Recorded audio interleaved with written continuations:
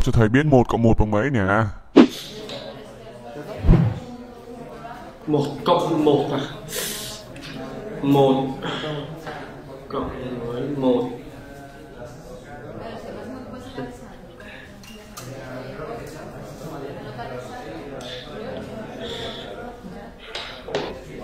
Em thưa thầy, một cộng một bằng hai ạ.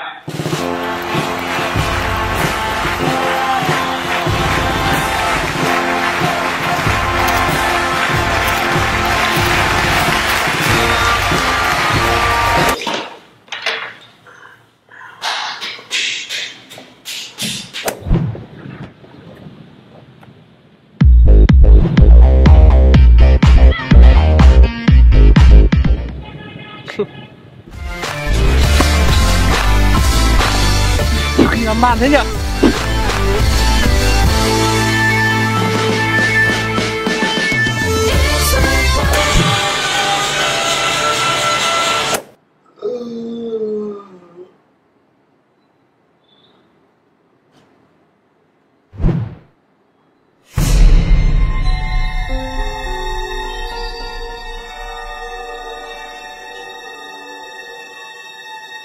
It's